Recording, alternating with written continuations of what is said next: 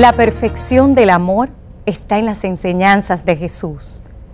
Pues yo les digo, amen a sus enemigos y recen por los que les persigan, para que sean hijos de su Padre Celestial, que hace salir su sol sobre buenos y malos, y hace llover sobre justos e injustos.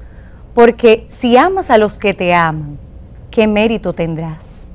¿Acaso no hacen eso también los publicanos? Y si saludas solamente a tus hermanos, ¿qué haces de particular?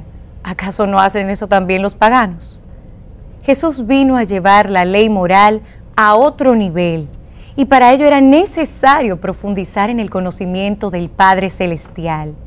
Solo el que comprende el amor del Padre se puede introducir en esa nueva ley del amor. Tratar de ser perfectos como es perfecto nuestro Padre del cielo. El que conoce a Dios, ama como Él. Ama. Por eso el amor debe llegar a los enemigos, es decir, a aquellos que nos odian. No se puede responder al odio con odio, sino con el amor. Este es el modo divino de actuar, pagar un mal con bien.